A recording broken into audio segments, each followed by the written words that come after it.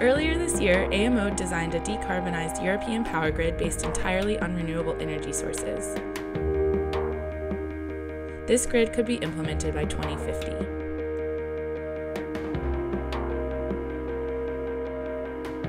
Now we want to do the same for the United States. The United States should have the most efficient grid in the world, but it doesn't. US grid wastes energy at every point throughout the day.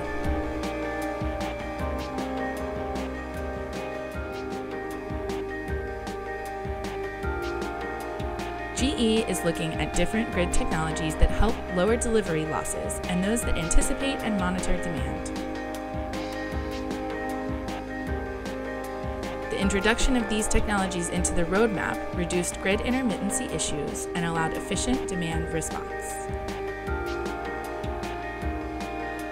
Through the roadmap, AMO showed that taking advantage of Europe's geographic and climatic diversity is the best means to help us realize greater gains in grid efficiency and outage management.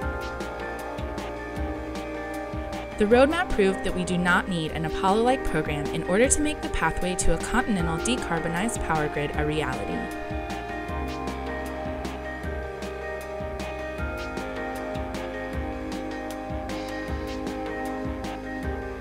What we need is a technology neutral, politically agnostic energy policy that ensures a massive infusion of capital for research and development.